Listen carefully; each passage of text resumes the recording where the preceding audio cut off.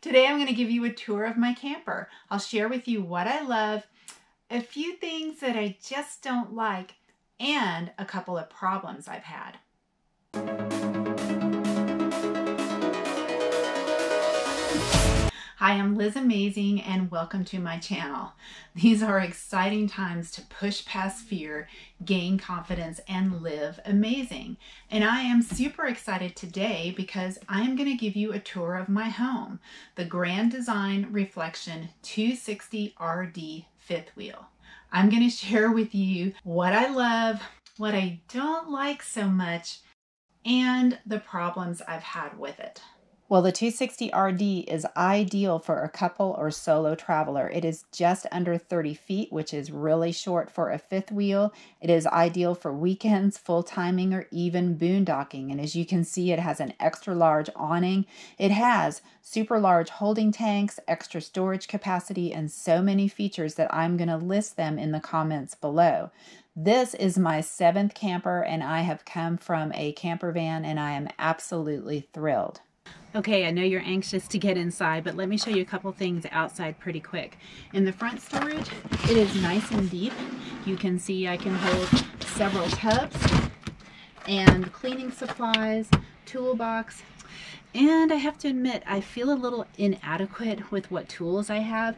I have the basics and I have a torque wrench. So let me know if there's anything that I absolutely should have with me. And then I have a problem. I bought the torque wrench but the extension, it has this plastic thing that came in it and I think it's from, you know, the price tag or whatever, but short of burning it, how do you get the plastic thing out of it so that you can use it? Just let me know. I'll be so grateful. Thanks. This is the pass-through storage. It is huge. I love how the door is held up just by a magnet. So awesome. It has motion sensor lights, which is so great. I have not figured out how to organize this space. I just kind of have all this stuff piled here. So if you have any ideas, if I need bins or whatever, just let me know. I love the water system here.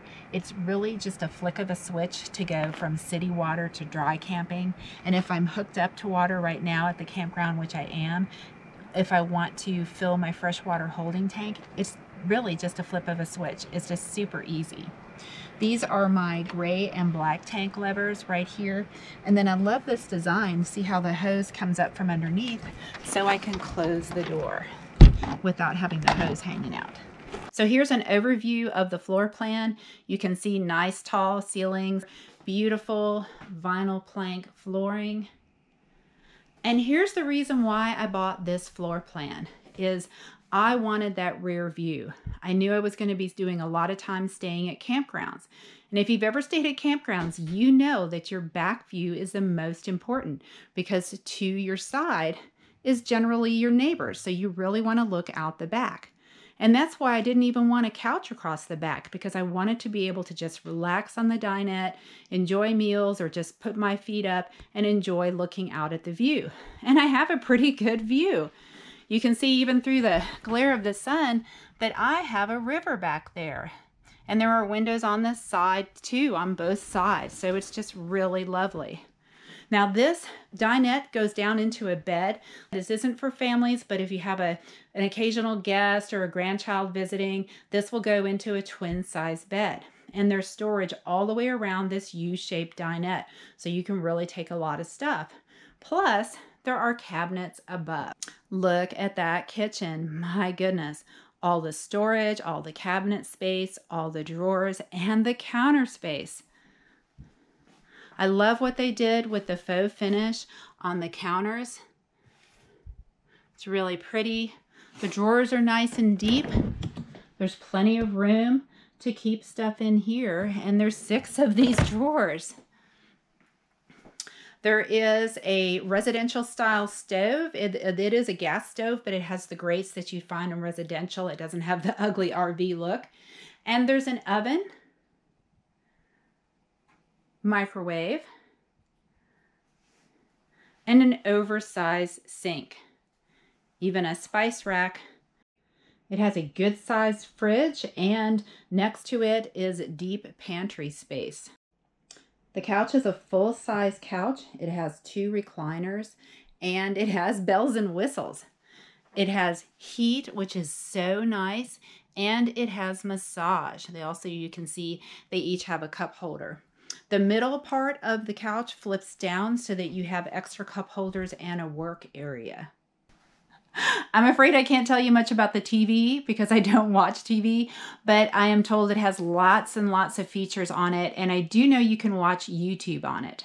There's also a DVD and CD player, and it has indoor and outdoor speakers, AM, FM radio. And here is the control panel where you operate the slides and the awnings and check your tank levels. This unit has one slide and what you're looking at here with the wood frame is the slide.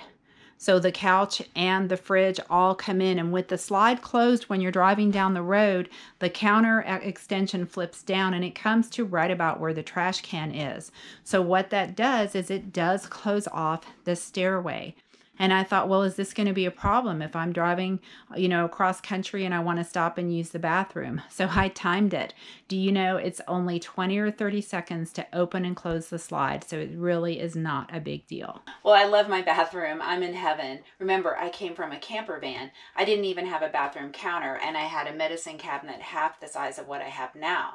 Now I have this huge medicine cabinet, a counter, drawers, a cupboard under the sink, plus a big linen closet.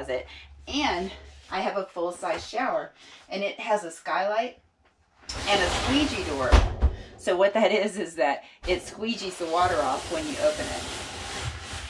And this is my linen closet a lot of people don't realize that when you go full time, you have to bring your whole medical supplies with you, your sick bay, everything that you need, you know, in case you get sick or you get insect bites, uh, you know, extra supplies. So you really need a lot of bathroom storage. Well, the bedroom is amazing. It has a residential queen size bed, not the RV queen, but a regular residential full size queen there's a nightstand on both sides and there's overhead storage and the entire under the bed is storage.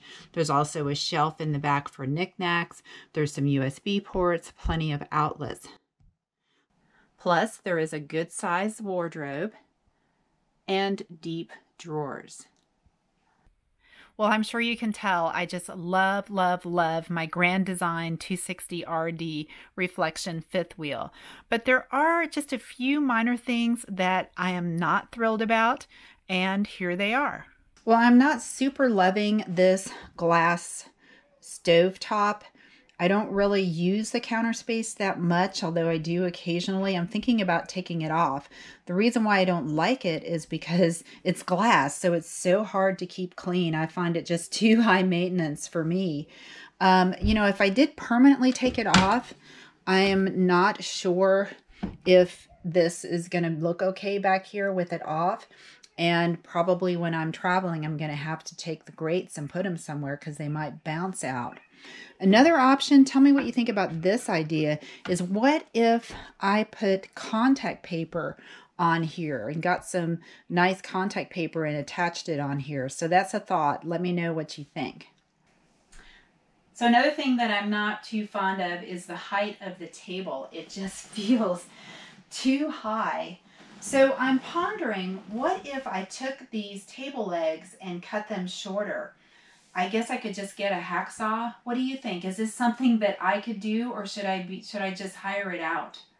So the other thing I don't like is how this faucet in the bathroom is too short. So I end up washing my hands, pressing my hands at the back of the sink and then getting water all over the counter.